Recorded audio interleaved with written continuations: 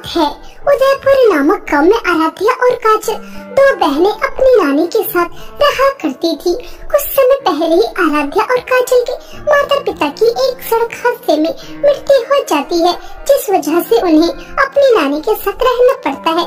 आराध्या बहुत ज़्यादा अच्छे स्वभाव की लड़की थी, लेकिन कभी भी उसे नानी से प्यार नहीं मिला करता था और काजल वह अच्छे स्वभाव की भी नहीं थी।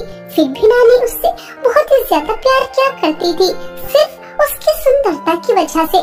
आराध्या काजल की तरह सुंदर नहीं थी और उसके सर पर बाल भी नहीं थे। वह पूरी तरह से गंजी थी, जिस वजह से नानी उसे बहुत ही ज़्यादा चिढ़ा करती थी और हमेशा उसे खरी खोटी बातें सुनाया करती थी। नानी यह लीजिए, मैं आपके लिए आपकी वाली चाय बना कर लेकर आई हूँ। जल्दी से इसे पी लीजिए। मुझे स्कूल जाने के लिए देरी हो रही है। ये है क्या गंजी टकली सुबह सुबह अपनी मनोहर शक्ल मुझे दिखा देती है। मैंने तुझसे एक बार नहीं, कितनी बार कहा है कि सुबह सुबह मुझे अपनी यह शक्ल मत दिखाया कर। लेकिन नहीं, सुबह सुबह मेरे पास आ जाती है। तेरी गंजी टाट देखकर मेरा दिमाग खराब हो जाता है। अरे, मेरी प्यारी काजल बिटिया, तुमने अभी तक अपने बाल नहीं बनाए? लाओ। स्कूल जाने के लिए देरी हो रही होगी। मैं तुम्हारी सुंदर सी चोटी बना देती हूँ। नानी यार, यह लीजिए। आप मेरे सुंदर बालों की चोटी बना दीजिए। नानी नानी, मुझे कुछ पैसे चाहिए।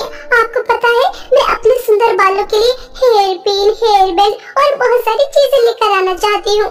मुझे पैसे दे दीजिए ना।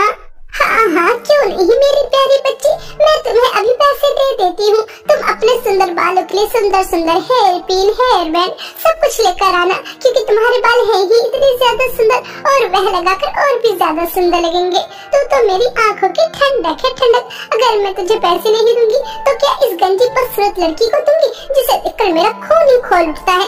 पता नहीं वह कौन सी मनहूस घड़ी थी जब ये पैदा हुई गंजी टकली।